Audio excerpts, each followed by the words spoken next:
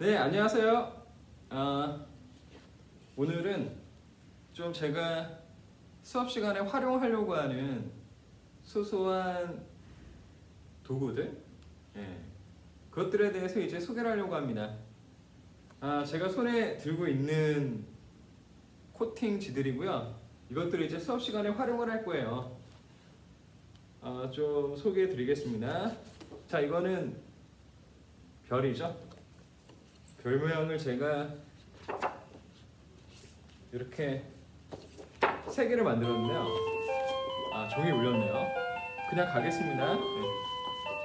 어, 중요한 표시들을 이렇게 별들을 사용해서 제가 말씀을 드리려고 합니다. 자 그리고요.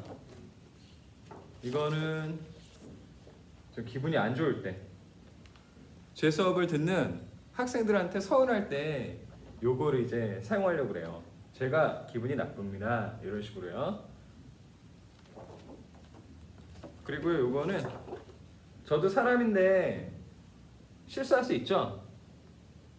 미안할 때 사용할 겁니다. 사과합니다. 라는 거죠. 네. 그리고요, 요거는 어 이거 감이죠? 여러분들이 수업을 얼마나 잘 이해했는지를 확인할 때 사용할 겁니다. 이런 식으로 요. 감 잡았나요? 감이 떨어졌네요. 감이 옵니까? 이런 식으로 요. 자, 어, 그 수업 시간에 그냥 말로만 하면은 좀 여러분들이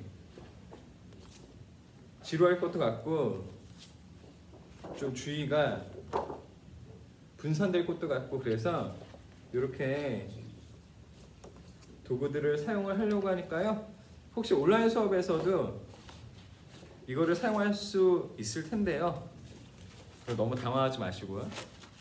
열심히 하려고 하는구나 라는 성의로 받아주시면 좋을 것 같아요.